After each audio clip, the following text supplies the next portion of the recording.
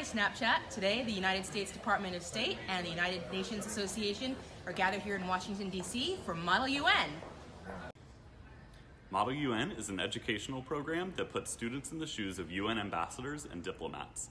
Today, here at the State Department, students will debate solutions to global challenges. Swipe up to learn more.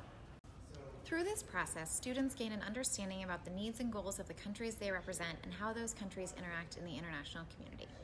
It's Nikki Haley. Congratulations to all of the delegates of Model UN. I am so excited for you because you're going to get to experience what we do every day.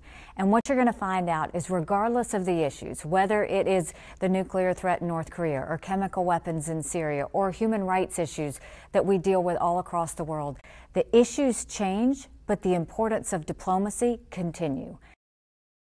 I'm excited that you're here. We need young diplomats, and so your time starts now.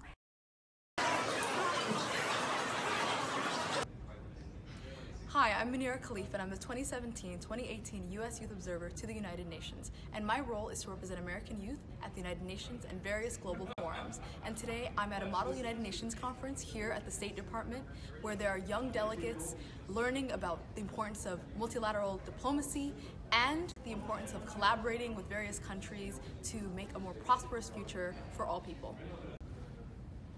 If you're interested in being the next U.S. Youth Observer to the United Nations, swipe up to learn more. Against this major problem by hosting the Paris Climate Change Conference.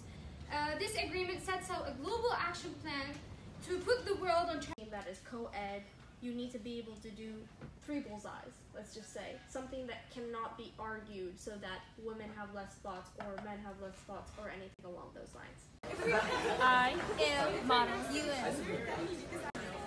Have experience.